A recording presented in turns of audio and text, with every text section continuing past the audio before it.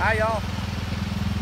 I wanted to introduce y'all to lychees if you're not familiar with them. They're sometimes called lychees or lychee nuts and they're a uh, subtropical fruit uh, that grows, uh, that originally grew in China and they grow all around the world.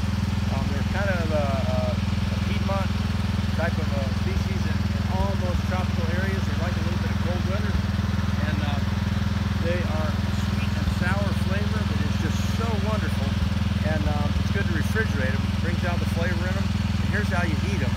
You stick your fingernail in and you remove this outer peel like that and then you just pop this wonderful thing in your mouth and there's a big seed in there